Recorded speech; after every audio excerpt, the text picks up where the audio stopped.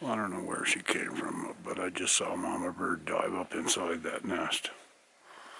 We'll take a closer look.